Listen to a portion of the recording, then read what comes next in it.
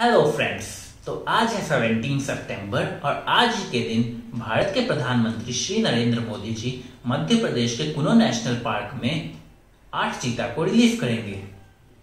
ये चीता भारत में प्रोजेक्ट चीता के अंतर्गत इंट्रोड्यूस किए जा रहे हैं।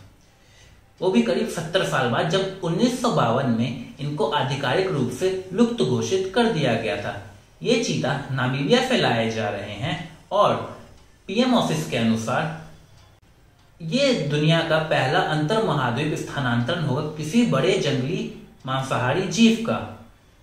इस प्रोजेक्ट को 2020 में सुप्रीम कोर्ट से स्वीकृति मिल गई थी और इस रीइंट्रोडक्शन प्रोग्राम के अनुसार मध्य प्रदेश के बाद गुजरात, राजस्थान, कर्नाटका और आंध्र प्रदेश में भी चीता को इंट्रोड्यूस किया जाएगा।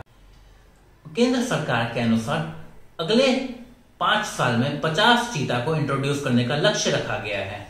तो ये थे मेन फैक्ट्स चीता ट्रांसलोकेशन के बारे में। ऐसे ही अन्य फैक्ट्स के लिए कृपया विकिपीडिया को फॉलो करें। Thank you